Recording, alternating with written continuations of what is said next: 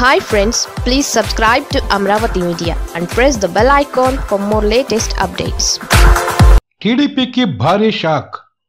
ఒక ఎమ్మెల్యే మరో మాజీ మంత్రి జంపింగ్కు సిద్ధం. పార్టీ పండుగ మహానాడుకు సిద్ధమవుతున్న టీడీపీకి వరుస షాకులు తప్పేట్లు లేవు. కొద్ది కాలం క్రితం ఆగిపోయిన వలసలు మళ్ళీ మొదలైనట్లే కనిపిస్తోంది.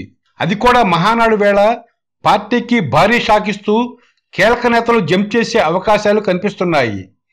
ఇప్పటికే ముగ్గురు ఎమ్మెల్యేలు పెద్ద సంఖ్యలో నేతలు ప్రత్యర్థి శిబిరంలోకి జంప్ చేయడంతో డేలాపడిన టీడీపీ ఇప్పుడు మరింత కుదేలవడం ఖాయంగా కనిపిస్తోంది.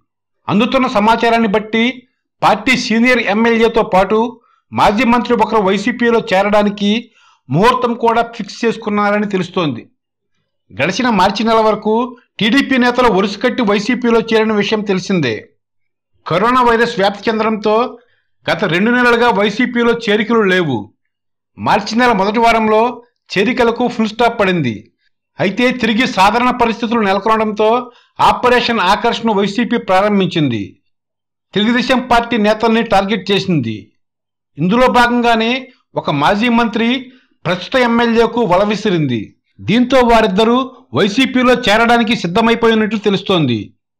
ప్రకాశం జిల్లాకు చెందిన మాజీ మంత్రి సిద్ధరాఘవరావు పర్చూరు ఎమ్మెల్యే ఏలూరు సాంబశివరావులకు వైసీపీ వల విసిరింది.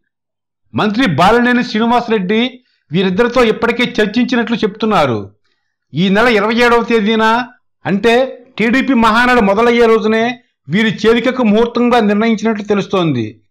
గత ఎన్నికల్లో ప్రకాశం జిల్లా నుంచి నలుగురు ఎమ్మెల్యేలు టీడీపీ తరపున ఎన్నికయ్యారు.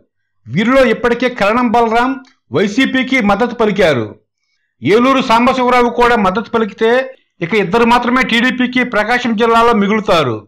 ఇప్పటికే ప్రకాశం జిల్లా నుంచి టీడీపీ నేతలు కరణం బలరాం పోతుల సునీత కదిరి బాబురావు వైసీపీకి జైకొట్టారు మాజీ మంత్రి సిద్ధారాఘవరావు తెలుగుదేశం పార్టీలో కీలక నేతగా వ్యవహరిస్తున్నారు. ఆయన గ్రానైట్ ఫ్యాక్టరీలపై కూడా విజిలెన్స్ ఎన్ఫోర్స్మెంట్ అధికారులు దాడులు చేసి కోట్ల రూపాయల జరిమానా విధించారు. సిద్ధ రాఘవరావు కూడా పార్టీ కార్యక్రమాలకు దూరంగా ఉంటున్నారు. ఆయన వైసీపీలో చేరడం దాదాపు ఖాయమనే చెప్పాలి.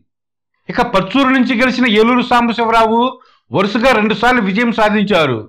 పర్చూరు నియోజకవర్గంలో ఆయన ప్రత్యర్థి దగ్గుపాటి కుటుంబాన్ని వైసీపీ దూరంగా పెట్టింది.